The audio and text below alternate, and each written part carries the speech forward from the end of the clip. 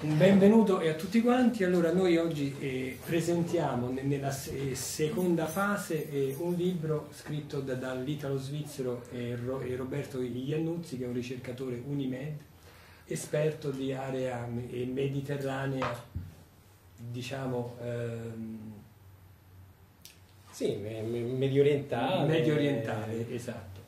E ci modera eh, la serata Sara Köller e anche lei che ha una sua esperienza su, su questa zona. Quindi cedo subito la parola a Sara che introdurrà il nostro autore. Penso che sia il caso che lo introduca proprio il nostro scrittore, parlandoci da, da, da come nasce questa idea, facendoci un rapido excursus in questa panoramica del Medio Oriente. Ci vale la parola gentilmente. grazie. Eh, intanto grazie per essere venuti e eh, appunto provo a esporvi un po' i contenuti di questo libro che eh, eh, io qui mi sono fatto anche un, un breve riassunto perché eh, per cercare di toccare tutti i punti chiave, insomma, visto che la questione ha una sua complessità.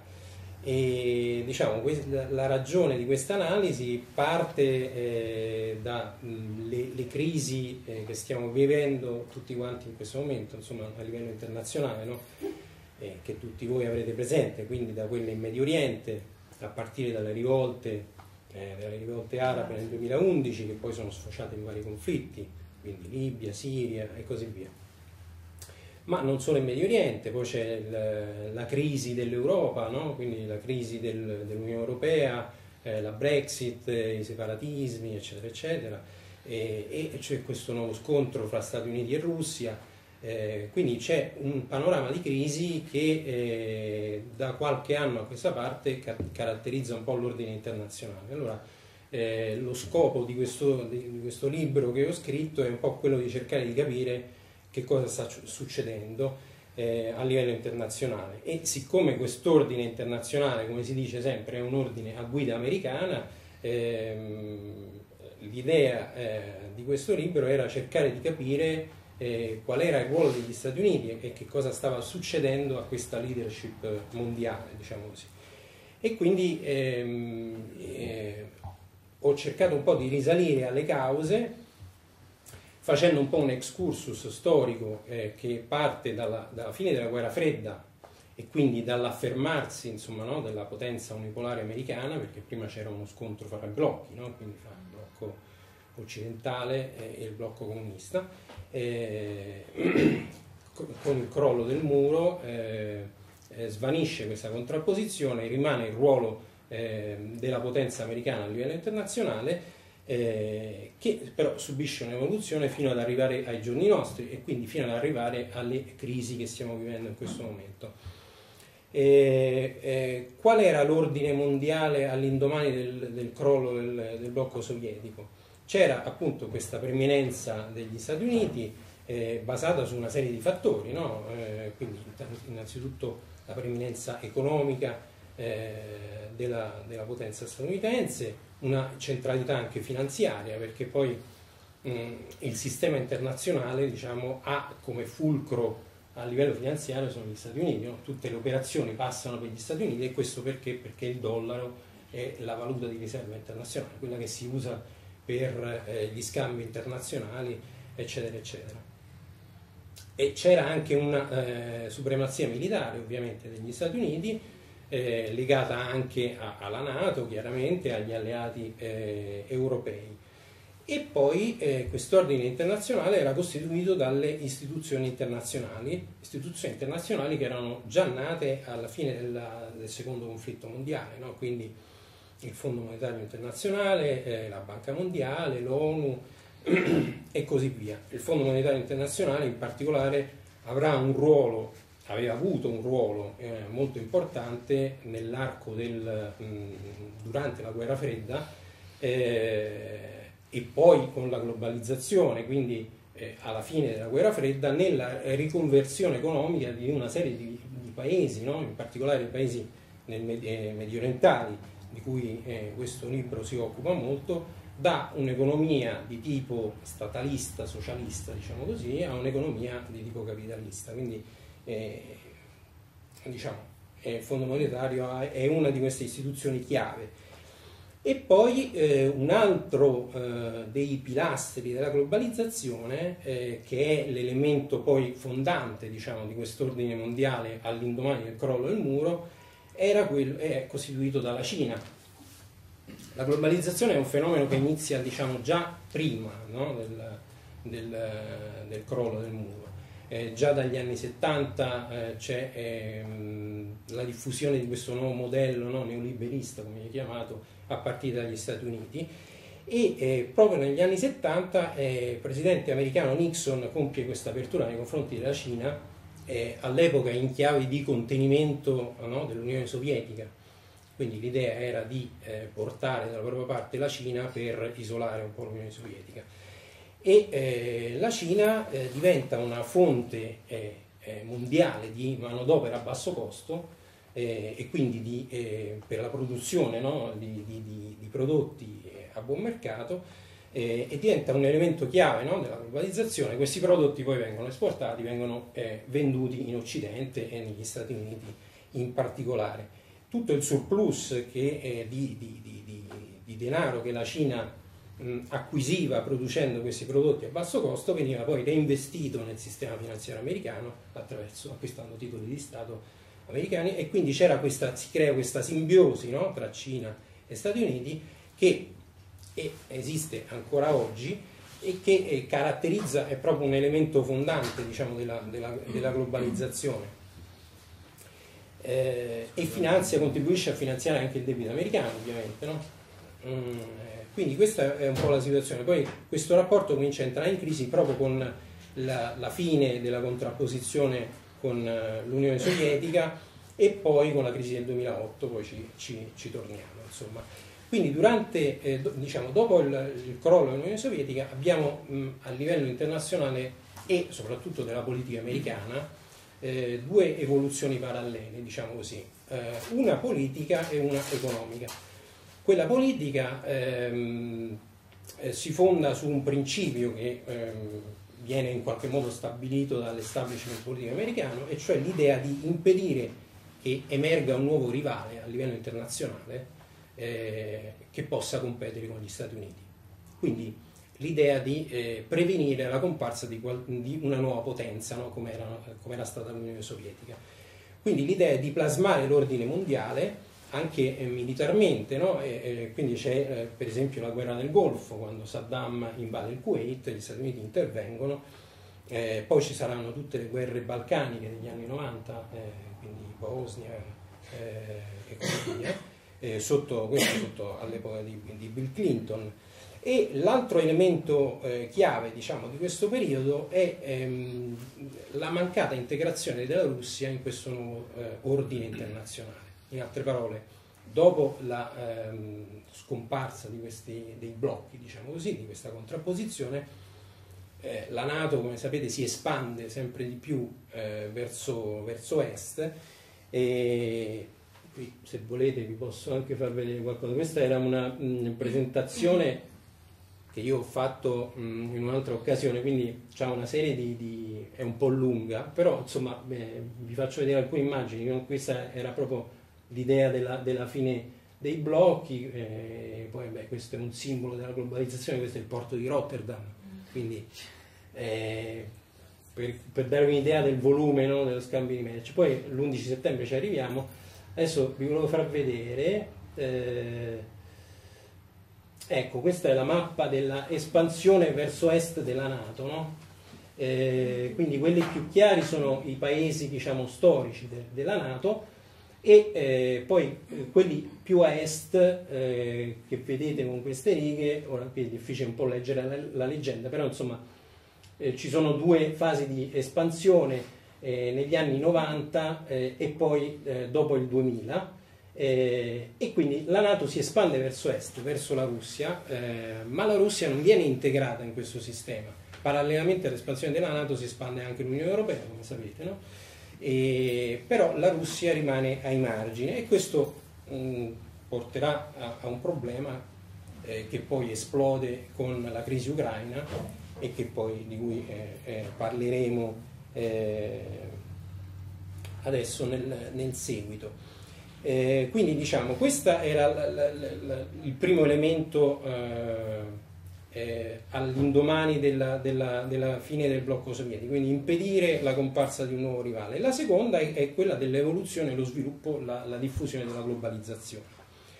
La globalizzazione eh, porta una serie di fenomeni con sé, no? soprattutto nei paesi occidentali, che sono dei, quelli della delocalizzazione della produzione.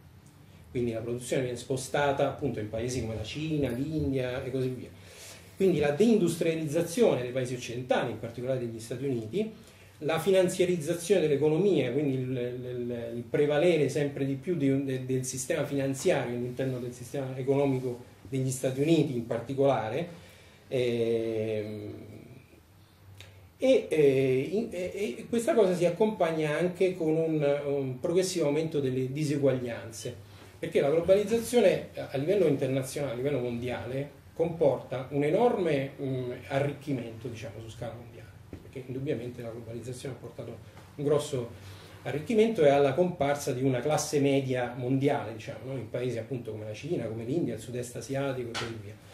Eh, però anche ha portato eh, eh alla uh, creazione di grossi squilibri, grosse diseguaglianze e questo è avvenuto in particolare nei paesi occidentali e in particolare negli Stati Uniti allora, se torniamo indietro, c'era una mappa, volevo, un grafico che volevo far vedere, che è questo, e che potrebbe sembrare complicato, ma in realtà è molto semplice, adesso ve lo spiego, diciamo, questa è l'evoluzione, la crescita dei salari medi a livello mondiale e sul, diciamo, in verticale voi avete la crescita dei salari, vedete la crescita dei salari, sull'asse eh, orizzontale sono invece le varie fasce di salario, quindi a sinistra vede le classi più povere e andando verso destra le classi più ricche. Eh, questa, questo periodo è, va dal 1988 al 2008, questo è uno studio della Banca Mondiale, questo fa vedere la crescita dei salari in, questa, in questo ventennio, diciamo così, e come vedete c'è stata una grossa crescita dei salari no, della dei salari medi, diciamo così, no? E questo in qualche modo coincide con le, la, la, nascita di questa classe media mondiale, no? nei paesi in via di sviluppo e così via, nelle potenze eh, in ascesa. Poi all'estrema eh, destra vedete un picco che è eh, la, la, crescita de, del reddito delle classi più ricche, quindi le classi più ricche si arricchiscono moltissimo, e c'è invece un picco negativo che vedete eh, prima della, della, della, parte qui, insomma a destra, ma non eh, prima della parte ricca, e questa è eh, diciamo la classe media occidentale, cioè la classe media occidentale rimane al palo in questa in grossa espansione dei salari, l'unica che rimane eh, ferma è la classe media occidentale e poi diciamo le classi più povere che rimangono poverissime. Quindi eh, questo è un po' all'origine della crisi eh, poi anche sociale no? eh, a cui abbiamo assistito negli Stati Uniti come anche in Europa, diciamo così.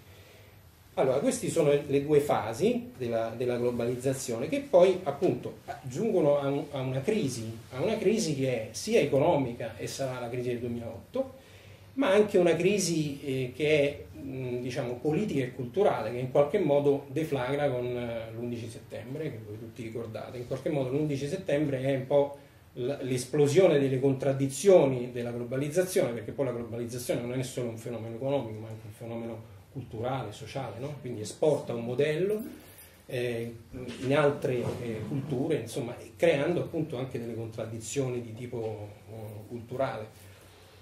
Eh, e eh, questa, questo periodo dal, 2008, dal, 2001 al 2008, quindi cioè dall'11 settembre, dall'11 settembre al 2008, è, in qualche modo segna l'inizio della crisi di questa fase di, di globalizzazione, ma anche un po' il culmine della proiezione degli Stati Uniti a livello internazionale, perché come voi sapete, dopo l'11 settembre ci sono gli interventi militari in Afghanistan e in Iraq. Eh, che tuttavia si risolvono in due fallimenti, nel senso che non, ehm, il progetto americano, che era quello di costruire due stati eh, democratici, no? due democrazie e, e in Asia centrale e in Medio Oriente, in realtà fallisce e anzi in qualche modo eh, eh, pone eh, i, germi per la nascita di nuovi conflitti, come poi abbiamo visto in particolare in Iraq e Medio Oriente con la nascita dello Stato islamico, eccetera, eccetera. Adesso ci arriviamo.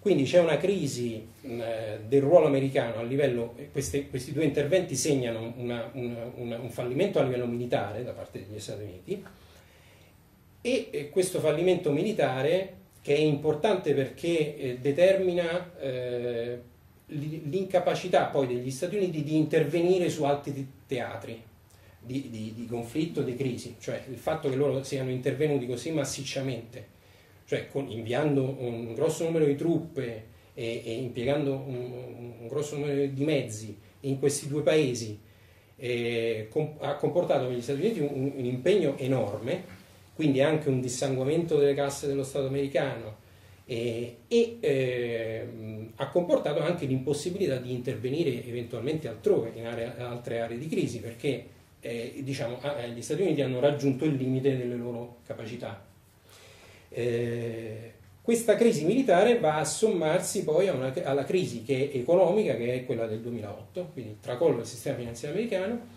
eh, delle principali banche americane, e poi determina tutta una serie di eh, conseguenze, quindi mh, fallimenti a catena, disoccupazione, eh, stagnazione, addirittura recessione, eccetera, eccetera. Questa crisi del 2008 segna una crisi di questo modello americano, ma anche una crisi proprio dell'ordine mondiale, in qualche modo, che era stato plasmato dagli Stati Uniti a partire dalla fine del, del secondo conflitto mondiale e poi all'indomani della fine della guerra fredda, in queste due fasi che ho provato ad accennare prima, quindi con queste con la creazione di queste istituzioni internazionali e con l'espansione del, del, della globalizzazione eh, basata sull'economia di mercato. Perché è una crisi non solo americana ma anche dell'ordine mondiale? Perché eh, questa crisi, come, come eh, ricorderete, ha un effetto domino praticamente che va al di là degli Stati Uniti. Cioè, la crisi del 2008 eh, si espande no, poi all'Europa, ai paesi europei, cioè, perché i mercati sono interconnessi, quindi c'è un contagio finanziario, scoppia la crisi del debito sovrano nei paesi europei eh, e questo contribuisce anche alla crisi di identità dell'Europa, dell'Unione Europea eh, e così via.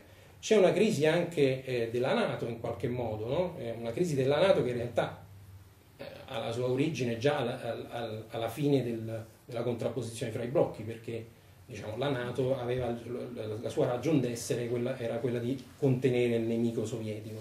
Venuto a mancare il nemico sovietico, eh, comincia a, um, cominciano a mostrarsi interessi diversi fra gli Stati Uniti, i paesi europei e questo si verifica, si, si emerge per esempio anche nel, eh, nell'invasione americana dell'Iraq poi nel, nel 2003, eh, invasione mh, rispetto alla quale paesi come Francia e Germania erano contrari. No? Eh, quindi c'è un, un, un unilateralismo americano eh, in questa occasione che eh, prima non, non, si era registrato, no? eh, prima eh, c'era maggior, un maggiore coordinamento con, con i paesi europei. Eh, e eh, questo unilateralismo, fra l'altro, porta anche a una delegittimazione in qualche modo dell'ONU, no? perché l'ONU perde un po' il proprio potere. Prima eh, no, le missioni si cercavano di fare sotto l'egida dell'ONU, mentre invece l'intervento americano in Iraq segna questa eh, volontà americana di andare avanti anche se non c'è mh, un, un, mandato eh, delle Nazioni Unite. E la crisi del 2008 segna anche un po' eh, l'ascesa, poi ehm, si accompagna all'ascesa della, della, potenza cinese che nel frattempo si eh, espande economicamente eh, già a partire da, da, dagli anni precedenti, quindi dagli anni 90, 2000, eh, con l'accesso della Cina al WTO, no? all'Organizzazione del Commercio Mondiale, eh, e eh, se c'era stato questo rapporto di simbiosi fra Cina e Stati Uniti, la crisi del 2008 segna anche un po' una crisi di questo rapporto di simbiosi perché eh, i cinesi cominciano a dubitare un po' della capacità degli Stati Uniti di mh, mm, governare il sistema economico e finanziario internazionale eh, i cinesi non condividono le scelte fatte dagli Stati Uniti, scelte che hanno portato a questa crisi, e quindi chiedono maggior voce in capitolo, per esempio, a, all'interno del Fondo Monetario Internazionale e di altre istituzioni internazionali, cosa che gli Stati Uniti sono un po' resti a concedere. E questo sarà l'origine della decisione cinese, che poi avviene negli anni successivi, di creare delle proprie istituzioni internazionali che in qualche modo sono parallele a quest'ordine, a queste istituzioni, alle istituzioni esistenti, quindi al Fondo Monetario, alla Banca Mondiale. Cioè la Cina crea, per esempio, la Banca Asiatica per gli investimenti, eh, la banca dei BRICS, no? i BRICS sono questo gruppo di paesi, il Brasile, la Russia, e anche le agenzie dei rating. Eh, Cinese. Esattamente. Cioè loro cominciano a creare un sistema in qualche modo parallelo a quello esistente, sistema al quale aderiscono una serie di paesi, per esempio la, la Banca Asiatica eh, degli investimenti, degli infrastrutture e investimenti hanno aderito tutti i paesi europei, Italia compresa, eh, quindi e, e, Gran Bretagna, nonostante gli Stati Uniti avessero in qualche modo cercato di frenare un po' gli alleati europei, invece tutti hanno aderito. Quindi eh, c'è questa, eh, dire, questa emersione di un polo alternativo. E poi eh, l'altro elemento, e qui arriviamo al Medio Oriente finalmente, insomma in, in senso pieno, è quello delle, delle, delle, rivolte arabe. Anche le rivolte arabe contribuiscono insomma, un po' a, questa crisi internazionale, a questa crisi eh, delle strutture internazionali esistenti e sono legate anche loro a, eh, a quello che è successo in parte nel 2008 e comunque alla struttura economica internazionale. Questo perché?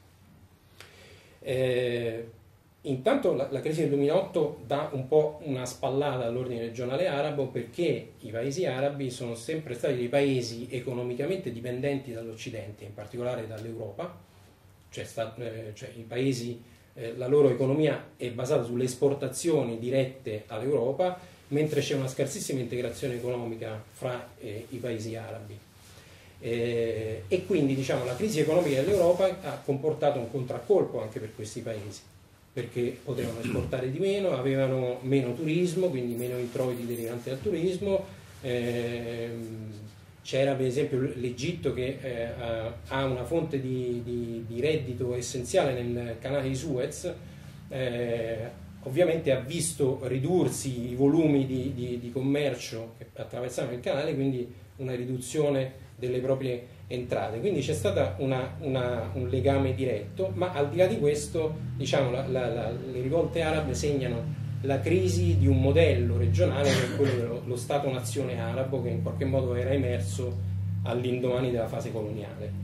Questo, stato, questo modello di Stato-nazione arabo è un modello in qualche modo importato, che non era mai esistito a livello eh, di questi paesi, il concetto di Stato-nazione, e eh, eh, inizialmente, soprattutto per quanto riguarda le repubbliche arabe, quindi l'Egitto di Nasser, la Siria di Assad, eccetera, eccetera, nelle repubbliche si afferma un modello di tipo statalista socialista, no? in contrapposizione proprio a quella che era stata l'esperienza coloniale, che era un'esperienza capitalista, quindi loro in contrapposizione adottano questo modello alternativo, che però fallisce in qualche modo nella contrapposizione fra i blocchi eh, durante la guerra fredda. Eh, insomma, il Medio Oriente, fra l'altro, è uno dei, campi, dei terreni di scontro della guerra fredda. E quindi questi paesi eh, eh, assistono a una riconversione economica che, viene eh, guidata, fra l'altro, proprio dal Fondo Monetario Internazionale, una riconversione economica all'economia di mercato. Eh, tuttavia questa riconversione economica avviene in un contesto di regimi autoritari quindi gli squilibri di cui avevamo parlato prima a proposito di globalizzazione, in quei contesti si acuiscono enormemente perché la ricchezza viene monopolizzata da alcune elite legate ai regimi e il resto della popolazione viene tagliato fuori e anzi rispetto ai sistemi diciamo, statalisti che c'erano eh, eh, negli anni precedenti la popolazione si vede anche privata di una serie di servizi che questi regimi fornivano, quindi assistenza sanitaria, istruzione gratuita, eccetera, eccetera. Questi nuovi modelli, tutto questo viene a mancare. Quindi eh, la crisi di questi regimi era in realtà una crisi prevedibile da tempo e che scoppia eh, nel 2011 per una confluenza di fattori, tra cui anche la, la, la, crisi del 2008 che contribuisce a dare una spallata eh, importante, diciamo così. E quindi questo è il panorama internazionale, eh, diciamo, da, dal 2008 in poi, insomma, quindi questa crisi. Ora, eh, cercando di concludere, eh, di arrivare alle conclusioni, insomma, che eh, gli Stati Uniti quindi si trovano di fronte a, nel 2008, a, all'indomani del 2008, quindi nel 2009, quindi quando arriva al potere Obama fondamentalmente, si trovano di fronte a, a dover gestire una crisi interna molto grave, cioè la necessità di ricostruire finanziariamente e economicamente il paese, e in più c'è una crisi internazionale, c'è una crisi degli alleati europei, c'è una crisi appunto con lo scoppio di rivolte arabe del sistema, l'architettura di sicurezza americana in questa regione, nella regione medio orientale, che è una regione importantissima dal punto di vista strategico per le risorse energetiche, ma anche per le rotte commerciali, no? perché il, diciamo, appunto, il canale di Suez, il Golfo Persico sono eh, regioni strategiche, insomma. E quindi eh, diciamo, eh, Obama si trova a dover gestire questa duplice crisi interna ed internazionale.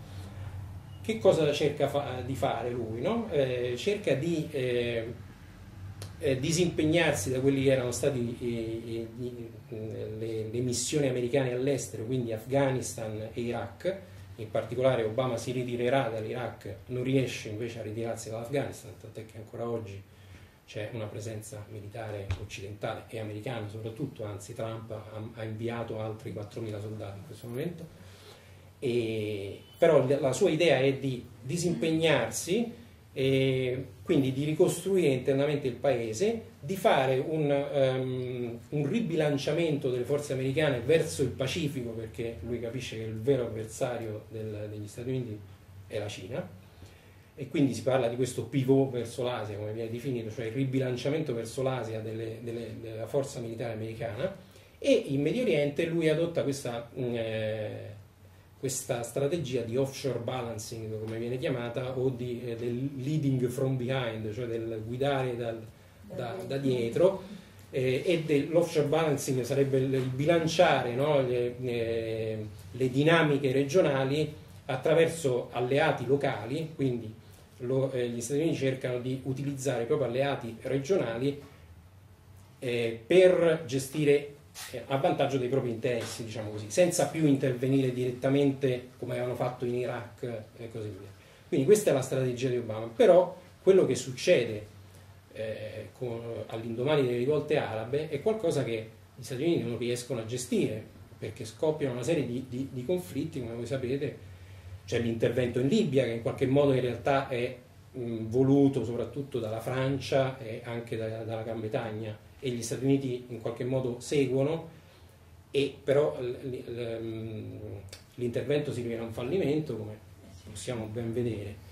Eh, c'è, c'è la, la, la, la, rivolta siriana che scoppia in una guerra civile che poi eh, risulta eh, in una serie di interventi regionali e internazionali, quindi diventa un, conflitto regionale, e poi magari approfondiremo questa cosa, e anche lì loro, gli Stati Uniti, sotto Obama, intervengono in questo conflitto, perché non è che non intervengono, però non intervengono direttamente, ma basandosi sugli alleati regionali, quindi su Turchia, eh, eh Arabia Saudita, Qatar, eccetera, eccetera. E questa crisi, quella della Siria a fianco e, a, e quella del vicino Iraq a fianco, eh, contribuisce, determina eh, l'emersione dello Stato islamico e anche in questo caso gli Stati Uniti adottano questa strategia di offshore balancing, cioè si basano, si, si appoggiano ad alleati locali per combattere lo Stato islamico e, e intervengono solo con l'aviazione, no? però gli alleati che combattono sul terreno sono il, il governo iracheno, le milizie sciite, eh, di Baghdad, i curdi e i, i ribelli siriani, insomma. No? Eh, e ora eh, lo Stato islamico militarmente è quasi debellato, però eh, nel frattempo questa, cosa, questa, questa tattica diciamo, di, di, di utilizzare alleati regionali sta portando all'emergere di nuovi conflitti quindi lo scontro fra curdi e Turchia, fra, fra curdi iracheni e Stato centrale iracheno e così via. Quindi diciamo, ehm, eh, questa strategia non, non ha eh, successo a livello internazionale, ma anche sul fronte interno Obama non riesce eh, in realtà a rimettere in piedi seriamente gli Stati Uniti, perché se è vero che faticosamente l'economia riprende a crescere, eh, rimane una crisi sociale profonda negli Stati Uniti, che è data dalla precarizzazione del lavoro, eh, dalle tensioni che ci sono, anche razziali, a cui abbiamo assistito, da, da questa ondata populista che ha investito l'Europa, ma anche gli Stati Uniti, e di cui Trump è in qualche modo Mm, la manifestazione. Esatto, quindi eh, per concludere, diciamo, eh, la situazione attuale è proprio una situazione in cui permane questa crisi interna e Trump ne è la manifestazione, in questo momento c'è uno scontro durissimo politico all'interno degli Stati Uniti, oltretutto che ruota attorno alla personalità di Trump e poi ne potremo anche parlare se volete, approfondire questa cosa e quindi permane la crisi interna americana e in più c'è un panorama di, di, di crisi internazionali. In questo panorama ho, ho tralasciato, ho dimenticato eh, di accennare alla questione, allo scontro con la Russia. Lo scontro con la Russia nasce già in Siria, perché quando gli Stati Uniti intervengono eh, diciamo per procura, cioè indirettamente in Siria eh, a favore dei ribelli, eh, i russi invece intervengono a sostegno del regime. Quindi eh, questa nuova guerra fredda, tra virgolette, che, eh, che, nasce fra Stati Uniti e Russia, si manifesta già con eh, il, il, conflitto eh, in Siria. E poi nel 2014 si acuisce ulteriormente con la crisi eh, ucraina invece, e quindi con lo scontro in Ucraina, che è in qualche modo il culmine eh, di quella mancata integrazione della Russia di cui avevo parlato prima, e cioè del fatto che la Nato si è espansa verso est, però mm. lasciando fuori in qualche modo la Russia e, e, e la crisi ucraina eh, mh, registra la reazione dei russi, i quali eh, intervengono in qualche modo eh, impadronendosi della Crimea e, e, quindi questa contrapposizione con gli Stati Uniti si acuisce ulteriormente e poi eh, peggiora ancora con l'intervento militare russo eh, in Siria intervento che poi avverrà proprio durante la campagna elettorale americana, no? quindi c'è eh, questo scontro durissimo fra Russia e Stati Uniti che coincide con la campagna elettorale americana e come voi sapete Trump invece voleva compiere un'apertura nei confronti della Russia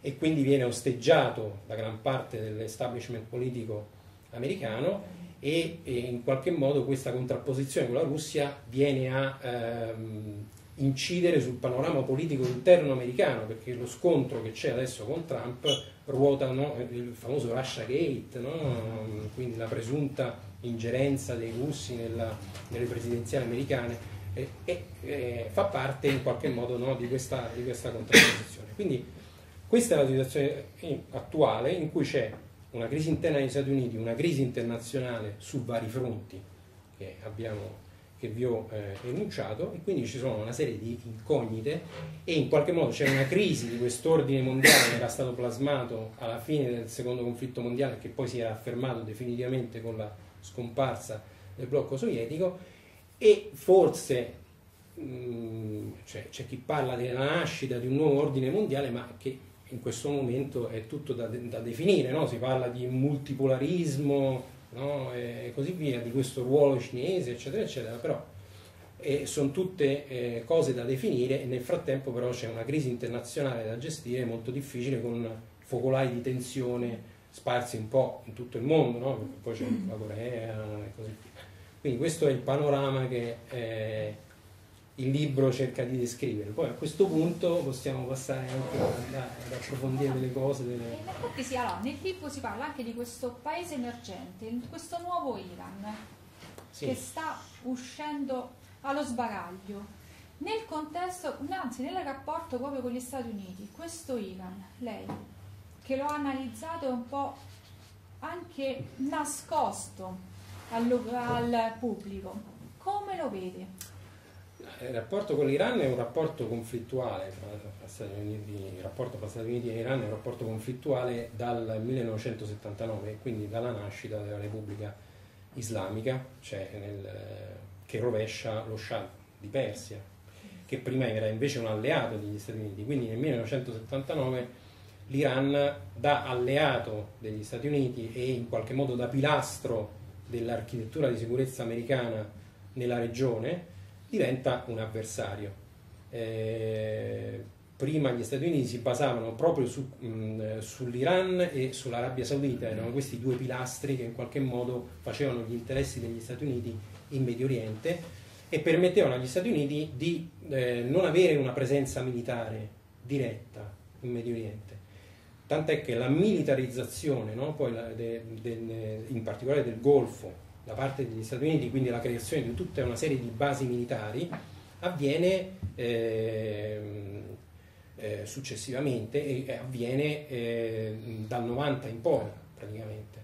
Loro prima si erano appunto su, basati su alleati regionali. Dalla, dalla, prima guerra del Golfo eh, contro Saddam Hussein nel 90 avviene invece una progressiva eh, militarizzazione, quindi presenza di basi militari eh, americane nel Golfo, in particolare in Arabia Saudita, che poi contribuiranno, la cui presenza contribuirà alla nascita di Al-Qaeda, fra l'altro, perché questa presenza viene rifiutata in particolare dai, dai, dai, dalla popolazione saudita, da tutta una serie di eh, figure anche politiche e, e diciamo, una delle, delle, conseguenze è anche eh, la nascita di Al-Qaeda. Però tornando al, all'Iran, eh, con la, eh, con la, rivoluzione islamica del 79 e con la nascita della Repubblica Islamica l'Iran diventa quindi un nemico eh, e gli Stati Uniti hanno sempre cercato di eh, contenere questo avversario eh, sia economicamente che eh, militarmente. Eh, ricorderete che negli anni 2000 c'è stata tutta la contrapposizione legata alla questione nucleare, no? la questione nucleare iraniana, che in realtà è solo una parte della contrapposizione mm. fra, fra Stati Uniti e, e, e, Iran e che in qualche modo era um, al suo culmine, questa contrapposizione era al suo culmine proprio quando scoppiano le rivolte arabe. Quindi eh, eh, nel momento in cui, oltretutto ci sono due fasi, no? perché inizialmente le rivolte riguardano soprattutto regimi cosiddetti filo occidentali, quindi filo americani, inizialmente la Tunisia, poi l'Egitto, eh, quando eh, la rivolta, le rivolte si estendono anche alla Siria, la Siria è il primo paese, il primo regime che in qualche modo non è eh, filo occidentale. Poi c'è anche Gheddafi che in qualche modo però aveva ehm, avuto un cammino di avvicinamento all'Occidente anche se molto, non di piena... Molto avvicinamento. Esatto, esatto. Sì, con tutti gli accordi eh, bilaterali anche stessi in Italia. Esattamente. Quindi Gheddafi era un, una situazione un po' particolare cioè è un regime che era nato come nemico eh, dell'Occidente, degli Stati Uniti e poi eh, era diventato invece un partner economico e commerciale, ma non pienamente integrato, tant'è vero che poi abbiamo visto che ci sono stati anche interessi a, a rovesciarlo quando si, si, è manifestata l'occasione. Eh, la Siria, quando è scoppiata la rivolta in Siria, la Siria era il primo regime eh, eh, realmente ostile all'Occidente a essere coinvolto da questa ondata di rivolte, quindi la possibilità di eh, rovesciare eh, il presidente siriano eh, Assad, in qualche modo era anche un modo per infliggere un colpo a, all'Iran e quindi per ehm, stringere ulteriormente questo assedio all'Iran. Questa era un po' la logica degli Stati Uniti, poi c'era la logica degli alleati regionali e quindi in particolare dell'Arabia Saudita per, per, la quale l'Iran è sempre stato un avversario storico, perché l'Iran è una potenza eh, sciita. Per la religione, sì. Esattamente. C'è una contrapposizione, la, la, l'Arabia, Saudita, esatto, l'Arabia Saudita è il baluardo dell'Islam sunnita, mentre l'Iran è, è, l'unico paese a maggioranza sciita, diciamo così, ora c'è anche, c'è anche l'Iraq che ha una maggioranza sciita e c'è un governo sciita, però insomma storicamente il centro dello sciismo era, era, era l'Iran e oltretutto con la nascita di una repubblica islamica in Iran, l'Iran compete con eh, l'Arabia Saudita per il ruolo di leader del mondo islamico. Quindi c'è questa rivalità fortissima e quindi nel momento in cui scoppia questa crisi in Siria, eh, i sauditi hanno interesse a rovesciare Assad perché Assad era un alleato chiave eh, de, de, dell'Iran, eh, l'unico alleato arabo eh, statuale, diciamo, no? Perché poi ci sono, c'è Hezbollah in Libano. e quindi c'era questo interesse. Insomma, eh, quindi questa contrapposizione entra molto in gioco nel conflitto, nel conflitto siriano, ancora, ancora, adesso.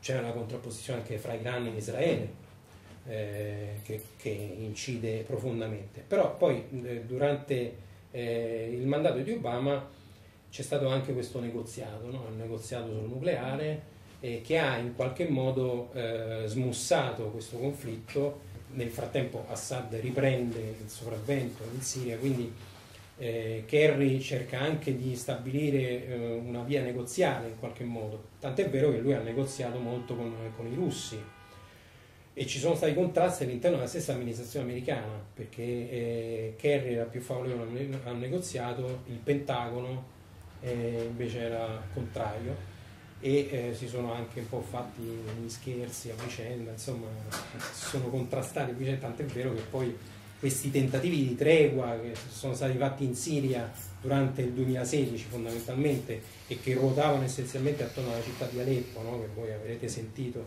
eh, nei telegiornali, insomma sono sempre poi eh, fallite. Eh, Trump eh, in questo momento ha un approccio molto contraddittorio che un, in parte è il risultato del fatto che lui stesso è contraddittorio. cioè, e, eh, ma non solo, cioè lui non ha una strategia chiara, ma neanche il suo entourage, diciamo così, ma eh, al di là di questo, la, la, la, contraddittorietà della politica estera americana è anche il, è il, frutto di uno scontro politico molto forte che c'è in questo momento all'interno degli Stati Uniti e che ruota in particolare intorno a Russia Gate, ma anche proprio alle, a, insomma, alla, alle, linee di politica estera da seguire e che hanno portato anche a eh, una, eh, una, modifica, un'evoluzione del, delle componenti dell'amministrazione americana di Trump. No? Tant'è vero che c'è stato un cambio del cosiddetto consigliere per la sicurezza nazionale, quel, quel Mike Flynn che era un generale che poi eh, si è dimesso eh, perché è coinvolto in Russia Gate. Eh, l'altra figura che è, stata, mh, che è uscita di scena è questo Steve Bannon, no? che era un po' l'esponente populista del suprematismo bianco, insomma, quindi l'ideologo un po' di, di, di Trump. Eh, mentre invece sono emersi eh, una serie di figure affiliate alla, al Pentagono fondamentalmente, cioè eh, generali o ex generali che sono eh, c'è questo James Mattis alla difesa che è stato eh, scelto fino all'inizio da Trump, ma poi c'è questo, mm, questo, McMaster che è il nuovo consigliere per la sicurezza nazionale, che anche lui è, un, è un esponente dell'esercito, e, e, e, lui è subentrato a Mike Flynn, quello che è stato costretto a dimettersi. E, e, l'altra figura è John Kelly, anche lui un generale, che adesso è il, il capo del, dello staff della Casa Bianca. Eh, Trump ha molto demandato anche una serie di scelte di politica estera a questo eh, gruppo, diciamo, questa, questo team di generali. Tant'è vero che se da un lato c'è anche una continuità nella politica estera, in particolare per esempio nella lotta all'ISIL, allo Stato islamico, eh, perché eh, la lotta allo Stato islamico era gestita dal Pentagono sotto Obama ed è gestita dal Pentagono sotto, sotto Trump. Eh, però per altri versi c'è un, un forte sbilanciamento tra eh, il Ministero della Difesa, cioè il Dipartimento della Difesa e quindi il Pentagono, e quindi tra un approccio militare alle questioni internazionali e un approccio invece diplomatico che dovrebbe essere eh, giocato dal, dal, Dipartimento di Stato. Il Dipartimento di Stato, sotto questo Rex Tillerson, che adesso è il segretario di Stato, ex manager della ExxonMobil, no? eh, questa compagnia, grossa compagnia petrolifera, eh, però sta giocando un ruolo molto marginale eh, e questo un po' dipende eh, dagli equilibri che ci sono all'interno dell'attuale amministrazione, ma è un po' anche il frutto di una tendenza storica che si è affermata negli Stati Uniti all'indomani dell'11 settembre, eh, perché all'indomani dell'11 settembre, eh, proprio a livello di finanziamenti, eh, si è manifestato uno squilibrio crescente fra il, eh, il, Pentagono, quindi il Dipartimento della Difesa, e il Dipartimento di Stato. I fondi sono andati tutti al Dipartimento della Difesa, il Dipartimento di Stato ha, ha ricevuto una quantità di fondi sempre minore. Quindi loro hanno proprio un problema uh, di, di, gestione, cioè di, di, di, gestione del personale diplomatico. Ora uh, Tillerson addirittura sta compiendo tutta una, una riforma del Dipartimento di Stato che molti hanno giudicato uno smantellamento addirittura, cioè di intere strutture diplomatiche, eccetera, eccetera. Quindi l'approccio diplomatico degli Stati Uniti in questo momento è carente e, e quindi e, il rischio è che è quasi zero. Quasi zero. Quindi il rischio è che da, par- da, una parte abbiamo delle strategie che sono essenzialmente disegnate dal Pentagono e dall'altra da un presidente come Trump che eh, ha una scarsissima conoscenza di politica estera innanzitutto delle questioni di politica estera. E poi ha, è, insomma, è molto ondivago e contraddittorio, quindi, non, quindi insomma, la, la, strategia americana in questo momento è una grossa incognita. Ma su questo punto, proprio, sulla strategia disegnata, se vogliamo, se, se ci allarghiamo un po' sul, sull'ultimo secolo, no? eh, il decennio critico è quello che va dal 1980 al 1990, lì inizia il vero unilateralismo americano cioè, finisce Bretton Woods, rimane in piedi Fondo Monetario Internazionale. Crolla il muro di Berlino, non certo per Sì, quello già dagli anni 70, no? Perché eh. Bretton Woods è... con Nixon. Esatto. E Reagan ridisegna lo scacchiere. Cioè, il muro di Berlino non cade perché l'hanno abbattuto, ma perché non serviva più lo scacchiere segue la, la distensione NATO che hai fatto vedere nella cartina, no? da lì, dagli anni 90 inizia l'espansione sì, verso sì, è chiaro che c'è un, una tendenza storica, no? Eh, ma, sì, ma la NATO ha ridisegnato il suo confine dalla Polonia Turchia fino allo stretto di Gibilterra, che guarda caso è la linea dei conflitti. Cioè, su, su, questo il Pentagono lo sa gestire benissimo questo aspetto, però aver portato a zero la parte diplomatica ha fatto sì che finire Bretton Woods, frutto di quel genio di Winston Churchill, perché no? Era Yalta Bretton Woods, dove c'era la Russia, c'era l'Europa eh, rappresentata da Churchill, c'erano gli Stati Uniti, alla fine della guerra fredda, in questo snodo tra 80 e 90, è rimasta una nuova cortina, ma non c'è più una, una Yalta. Perché non c'è più una Yalta? Eh sì, cioè, eh, diciamo, è, è un po' questo il... Cioè, è, è il frutto di, è, di, una, di, una, tendenza storica, giustamente, no? Però in questo momento cioè, in qualche modo c'è un, un'accelerazione di tutta una serie di fenomeni. E quindi appunto anche questo unilateralismo cioè, eh, si è già manifestato giustamente negli anni passati, nei decenni passati in varie tappe, però in questo momento è, ha, ha, raggiunto dei livelli mai registrati prima. Tant'è vero che st- lo, eh, tra le idee di Trump no, c'è anche quella di smantellare tutta una serie di eh, accordi no, che poi sono fondanti della globalizzazione. Eh, lui, una delle prime mh, eh, cose che lui ha fatto quando è giunto alla Casa Bianca è stato quello di tirarsi fuori da questa trans, ehm, Trans-Pacific Partnership, no? che è un accordo di libero scambio ehm, che gli Stati Uniti stavano contrattando con i paesi del Pacifico. Eh, ed era uno dei due grandi progetti di accordi di libero scambio che gli Stati Uniti avevano in cantiere. Uno è questa Trans-Pacific Partnership e è la Transatlantic Trade and Investment Partnership, e cioè un accordo di libero scambio fra Stati Uniti ed Europa. L'idea era di creare due enormi aree di libero scambio, cioè una eh, nell'Atlantico e una nel Pacifico, tra l'altro ha lo scopo di contenere e di isolare la Cina, perché poi insomma dietro c'era questa, questa idea.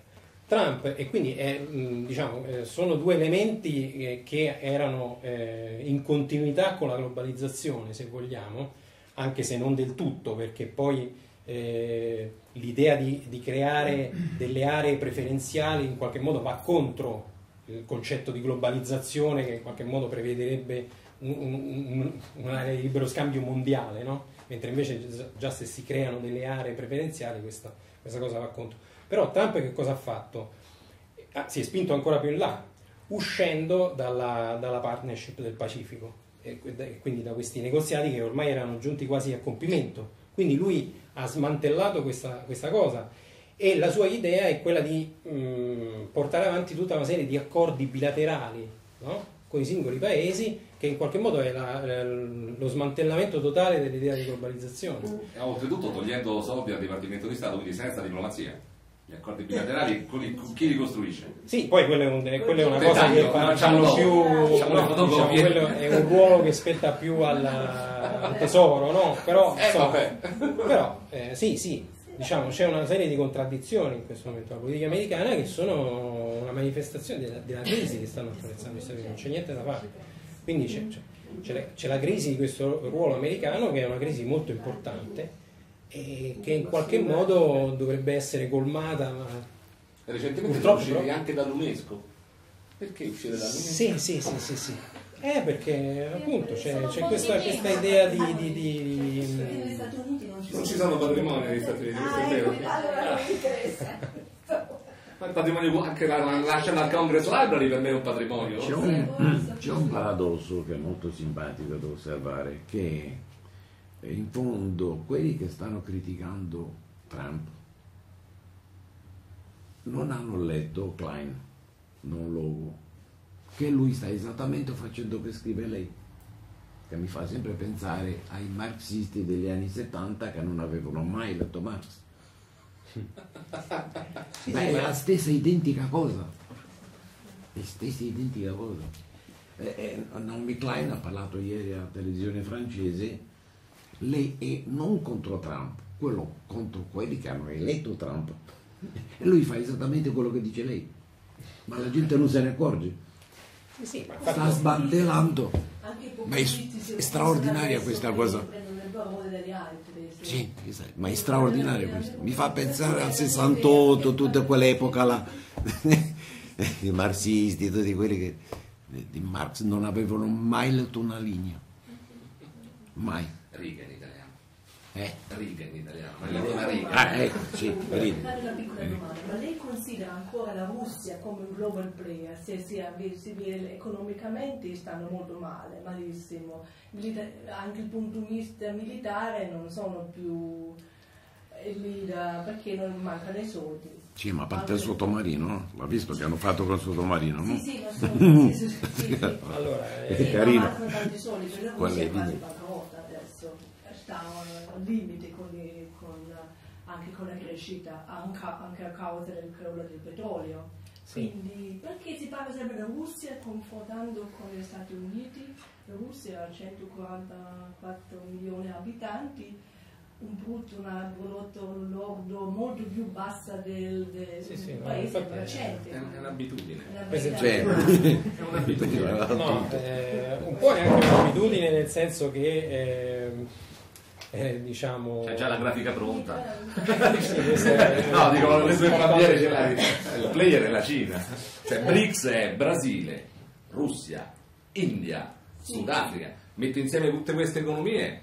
Sì, la Russia è- sono è- 100.000 sì. persone, non conta nulla, c'è l'India da sola la batte. Sì, sì, ma eh, comunque la Russia non ha, ma confrontando la Russia, perché diciamo sempre in Siria la, la Russia è entrata, eh, si vede sempre la Russia come una minaccia, ma la Russia Perché da sola non Ma c'è perché i giornalisti quello sanno. Cioè nessuno ha, nessuno no, ha visto ad esempio che nel Mediterraneo è entrata per la prima volta una portaerei cinese.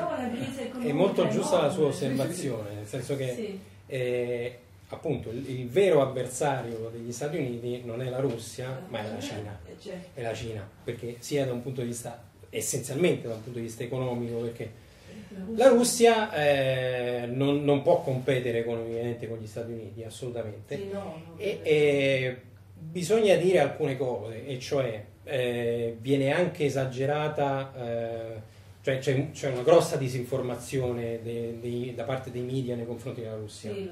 Non, quindi viene anche esagerata un po' la crisi economica russa. È vero che la Russia non è un competitor per gli Stati Uniti, assolutamente.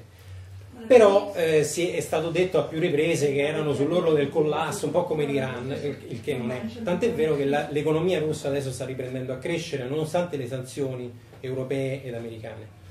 Eh, è ovvio che eh, rimane eh, appunto rimane un'economia non comparabile con quella americana, quindi non c'è, non c'è, questo, non c'è questa possibilità. Da un punto di vista militare le cose sono un po' diverse perché la Russia ha eh, attraversato una fase di profonda crisi militare dopo il crollo del blocco sovietico fino alla, mh, a- alla guerra in Georgia del 2008 eh, dove i russi sono intervenuti e eh, vincendo quel- quello scontro, ma era ovvio, eh, però insomma eh, da quel momento in poi Putin si è reso conto della necessità di dover moder- modernizzare le forze armate eh, russe e ha investito molto in realtà nell'esercito, nelle forze armate eccetera, quindi ha modernizzato tantissimo le forze armate, tant'è vero che eh, i risultati si sono visti in Siria, diciamo così, no? Sì. l'intervento in Siria che ha stupito gli stessi osservatori americani.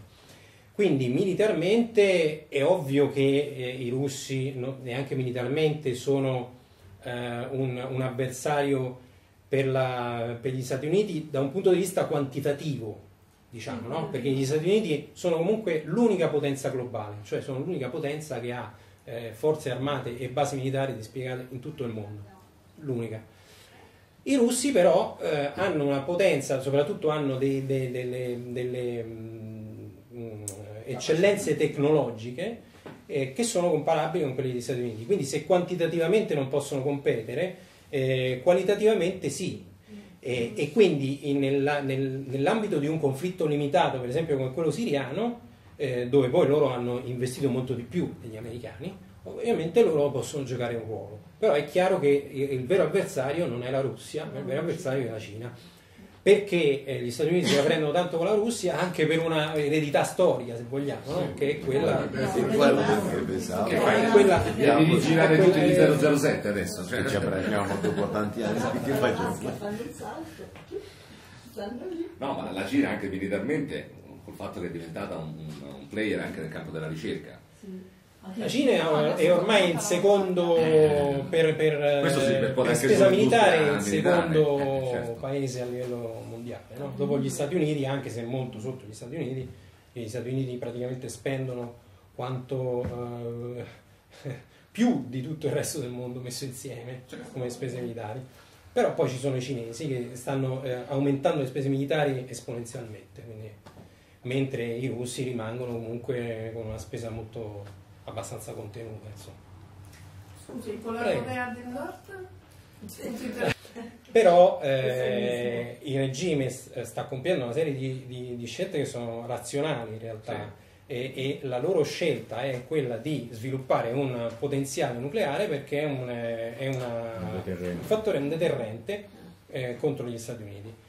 Il problema della contrapposizione fra Corea del Nord e Stati Uniti è, qualcosa che risale, a, cioè è un'eredità del secondo conflitto mondiale, del, del conflitto che c'è stato poi fra le due Coree, un conflitto che non è, non, non è mai sfociato in un vero trattato di pace, c'è un armistizio lì, e che ha- ha- è, è rimasta questa- questo confine armato, diciamo così, e, e questa fortissima presenza militare americana anche tutto intorno, no? perché c'è nel Giappone, c'è nella Corea del Sud, eccetera. Quindi il regime coreano ha pensato di sviluppare questo deterrente nucleare come eh, salvaguardia, come- esatto, per, per garantirsi la sopravvivenza. Eh, secondo una, una- una logica, un'evoluzione non troppo dissimile poi da quella iraniana, eh. Eh, solo che loro sono arrivati eh, al dunque, cioè loro hanno in questo momento davvero hanno sia la bomba atomica che hanno anche i vettori per poterla... eh, C'è una logica nelle loro azioni. c'è una logica, c'è una logica. E quindi, eh, per quanto siano no, fuori luogo eccessive le loro sparate e propagandistiche, eccetera, eccetera, però sono comunque un attore razionale, diciamo così, e che in qualche modo fa sì che eh, uno eh, dovrebbe essere garantito sul fatto che loro mai eh, lanceranno per primi un- un'arma atomica se non perché si sentono profondamente minacciati e quindi come potrebbero farlo con un possibile attacco preventivo, ma eh, sarebbe comunque suicida, no? hanno le dimensioni Quindi- un. Quindi No, eh, quello è la stato vera- interessante, ad esempio il, il lancio del vettore sopra il Giappone, no? Nessuno l'ha detto, ma non ha violato nessun trattato. perché essendo andato in, eh, nello spazio extra atmosferico extraterritoriale. non, non sta- non ha violato il territorio del Giappone e quello spazio Stati Uniti e America hanno sempre evitato di regolamentarlo per poter volare tutto il pianeta, per poter fare tutti gli esperimenti balistici. Quindi lui ha fatto un, un percorso di quel vettore e non ha violato nessun trattato, quindi cosa gli vuoi dire? Ha lanciato un pezzo di ferro, tu ne hai lanciati 10.000, è andato in acqua Sì, internazionale. sì, sì, sì. Comunque l'elemento fondamentale Quindi la logica è- ferrea di, quel- di quel- di quella scatoletta piccolina. Non Sì, solo, sì, ma sì. questo cosiddetto pazzo tiene in scacco il Partito Comunista Cinese, che non può fare assolutamente niente. Questo è il colmo. La ci sono due elementi chiave no, in, questa, in questa crisi. Una è il fatto che eh, obiettivamente loro ormai hanno un deterrente nucleare, per quanto eh, ancora non completamente sviluppato, ma ce l'hanno. Quindi diciamo l'unica logica, eh, l'unica politica logica da, da- da- da, eh, portare avanti nei confronti di questo regime sarebbe una politica di contenimento, perché non ci sono altre alternative. Eh, quando Trump minaccia l'intervento militare è una sparata ed è soprattutto anche molto pericolosa perché è una follia, nel senso che eh, ah, se volete ci abbiamo anche vediamo se no, indietro che questo può essere interessante. Ecco, questo è lo, lo scacchiere del Pacifico e mm, questo adesso mm, vi posso accennare un po' mm, eh, più approfonditamente su questo, comunque per chiudere il discorso sulla Corea. mm, eh, quindi quando Trump minaccia un in- intervento militare mm, fa delle sparate anche un po' pericolose perché poi se il regime si sente seriamente minacciato potrebbe a quel punto reagire perché non, non c'è una soluzione militare perché come è stato detto oltretutto proprio nei giorni scorsi per garantire la distruzione di tutti i siti nucleari nordcoreani eh, sarebbe necessario un intervento di terra Inoltre la Corea del Nord, oltre ad avere un arsenale nucleare, ha un arsenale convenzionale eh, molto nutrito e quindi se anche è ovvio che perderebbe un confronto militare, ma nel frattempo potrebbe praticamente radere al suolo metà di Seoul, per capirci, e anche colpire il Giappone, quindi cioè, è- sarebbe un intervento militare dai costi spropositati, per non parlare poi del rischio di tensione internazionale e quindi di un'ulteriore escalation del conflitto, cioè si potrebbe... Sarebbe un Vietnam con l'atomica. È uno scenario impensabile, no, cioè eh, arriviamo a veramente, mh, diciamo, veramente si arriva a scenari di, di rischio di terza guerra mondiale, cioè è uno scenario impraticabile l'intervento militare. Cioè se c'è, c'è anche qualcuno che, che- che lo pensa, ma insomma eh, non è, non è- non è proprio praticabile. Quindi l'unica soluzione è il contenimento, insomma, di, di questo non, c'è, non c'è alternativa a questo punto. Oltretutto c'erano anche stati dei negoziati con la Corea del Nord, in particolare sotto Bill Clinton, quindi eh, ci sarebbe stato il modo di fermare prima questo programma nucleare, prima che fosse completamente sviluppato. E Bill Clinton aveva raggiunto un accordo con il regime che però non venne mai eh, implementato del tutto, anche perché nel secondo mandato di Clinton lui era debole, c'aveva già il congresso repubblicano contro, poi quando arrivò Bush inserì la Nord Corea nell'asse del male e lì eh, loro ripresero lo sviluppo del loro programma nucleare e le cose sono andate. Ci mandiamo Oh. qualche svizzero tedesco, perché lui parla, parla lo svizzero tedesco, Kim Jong-un. Ah sì? Ha, ha studiato a Berna. Certo, va bene. Lui parla lo svizzero tedesco, quindi c'è la proposta di mandare qualche svizzero a trattare con lui. Era bravo, eh. L'altra questione fondamentale che sta dietro il, il conflitto con la Corea del Nord è proprio quello, cioè il fatto che in realtà dietro c'è la contrapposizione con la Cina. Allora perché la Cina vuole comunque ha paura di smantellare questo regime? Perché la Cina ha paura che se questo regime ven- venisse smantellato eh, i cinesi si ritrovano le basi americane al confine cinese. Esatto. Quindi loro per questo non vogliono, eh, cioè sono anche d'accordo nel tenere isolato questo regime, ma hanno paura non- eh, di smantellarlo completamente. E qui, diciamo, in questa cartina emerge un po' quella che è la contrapposizione militare invece fra Cina e Stati Uniti, e di cui un po' accenno anche nel libro. eh, e la costa cinese. La costa cinese è l'unico sbocco che i cinesi hanno al commercio internazionale. Quindi quello che temono i cinesi è un accerchiamento americano E quello che loro quindi stanno facendo è cercare di sfondare, tra virgolette, questo accerchiamento, quindi anche le rivendicazioni territoriali di cui forse avrete sentito parlare no? nel, mar, nel Mar Cinese meridionale, questo cerchietto, queste isole nere eh, cerchiate, che sono delle isole che in realtà sono degli scogli praticamente che affiorano solo in alcuni casi quando c'è la bassa marea, eccetera, eccetera, e che loro stanno trasformando in delle isole artificiali, eh, in alcuni casi anche militarizzandole, cioè ci hanno fatto delle, delle piste di atterraggio, ci sono la possibilità di, appunto, ci hanno messo dei radar, eccetera, eccetera. Tutto questo ha lo scopo di, di rompere questo accerchiamento fondamentalmente eh, questo accerchiamento americano, perché la loro teoria, eh, eh, la loro strategia militare è quella mh, di eh, riuscire a sfondare questa, la prima fascia di isole, che è questa, eh, questo grande semicerchio che vedete, e arrivare addirittura a questa seconda fascia di isole, che è questo semicerchio più piccolo che vedete È sulla una destra. classica strategia del Go, se chi conosce gli scacchi cinesi. Appunto c'è la eh, catena che va scavalcata e una volta da E manuale. que- questa è la contrapposizione che c'è eh, e quindi diciamo la- la- il conflitto eh, nordcoreano rientra anche in questa logica, ovviamente. insomma. Questo insomma, ci siamo spinti nel Pacifico. Però insomma, visto, eh, cioè, vista insomma, Del la natura che è globale successo con l'Ucraina, perché poi lì è lo stesso discorso. L'Ucraina è un altro discorso, insomma, Dei se russi volete anche lì che si possiamo... trova che non si vogliono trovare gli americani Esatto, che anche- già hanno la Polonia, esattamente, ce n'hanno già troppi. Infatti anche in quel caso, eh, perché i russi hanno preso la Crimea? Eh, perché in Crimea c'è l'unica base militare russa, quella di Sebastopoli, che permette ai russi di avere accesso al Mar Nero e al Mediterraneo. E, e- e loro hanno preso la Crimea perché era salito a un potere un governo, il nuovo governo ucraino, che era un governo eh, visceralmente antirusso.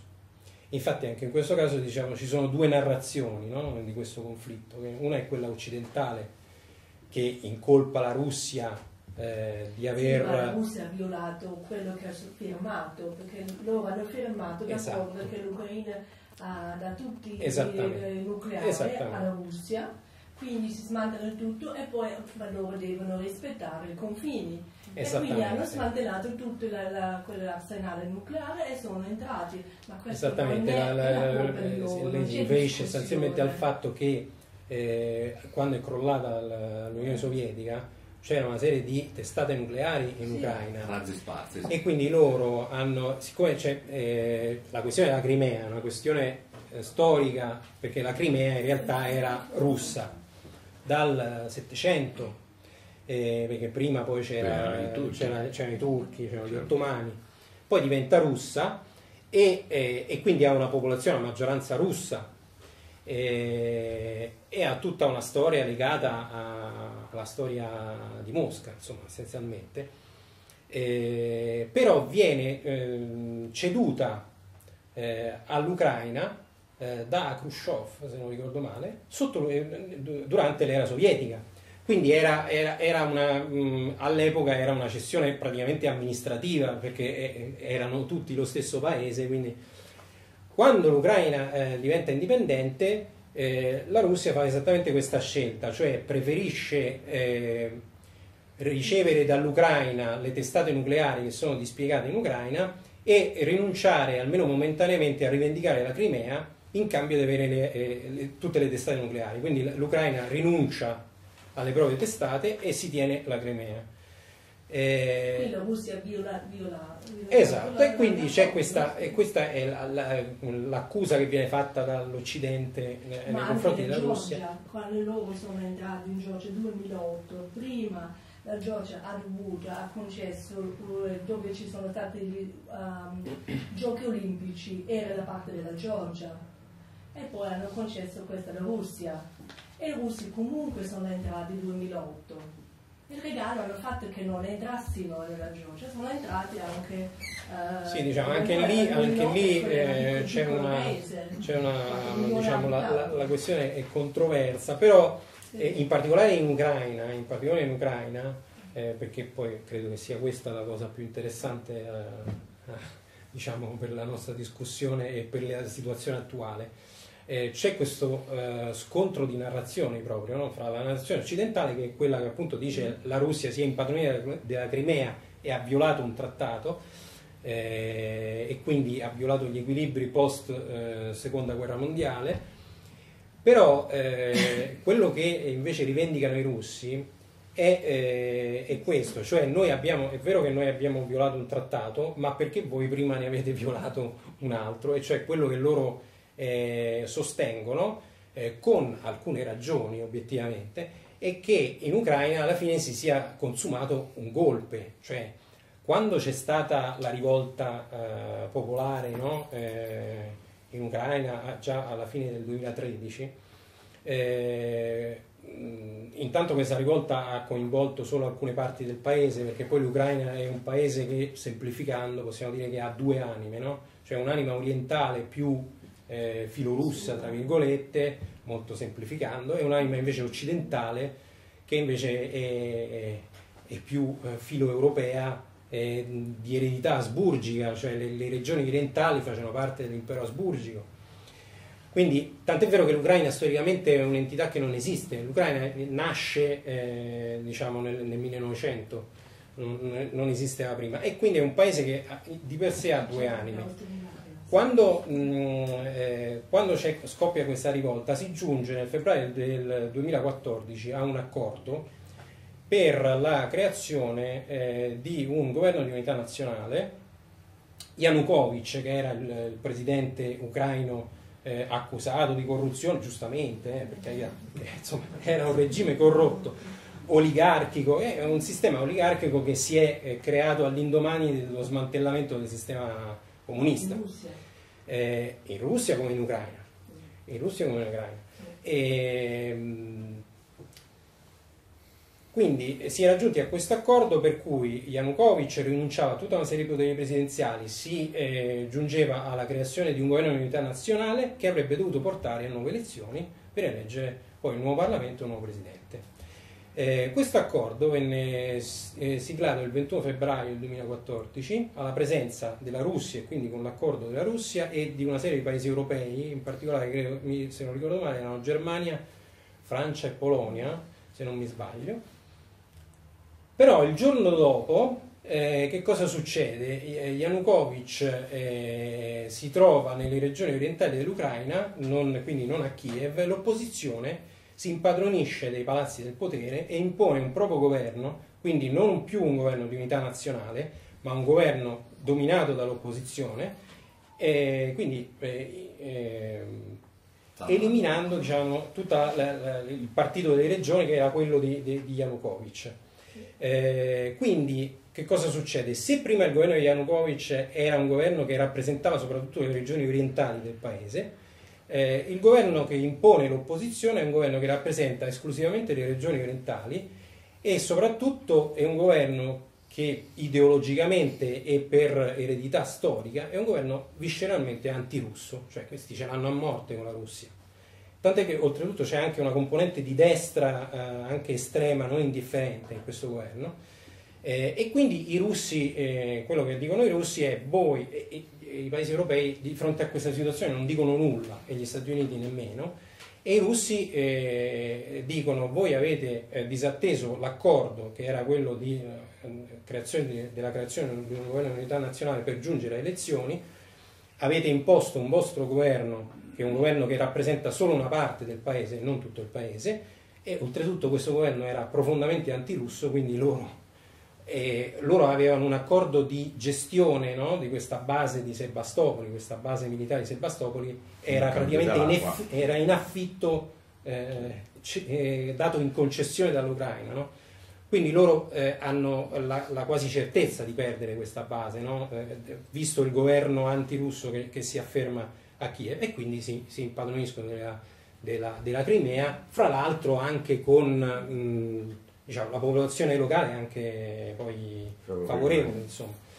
Quindi diciamo, c'è questo scontro di narrazioni eh, molto forte su, eh, nella, nella crisi ucraina e purtroppo è una crisi che ancora adesso è, è aperta e ancora, ancora adesso si combatte ma non, non, se ne parla tra le altre cose eh, eh, poi c'è, c'è, tutta la rivolta della parte orientale no? del, del cosiddetto Donbass eccetera eccetera che è una rivolta fondamentalmente locale. È vero che la Russia la sostiene, però non è vero questo che si, che- che si dice, no? che soprattutto gli Stati Uniti hanno detto che, che fosse un'invasione russa, cioè i russi hanno sostenuto questa rivolta, non c'è dubbio, ma è, è- è una rivolta locale perché oltretutto eh, milizie ucraine eh, dall'Occidente sono andate lì per cercare di imporre il potere del nuovo governo che loro rifiutavano.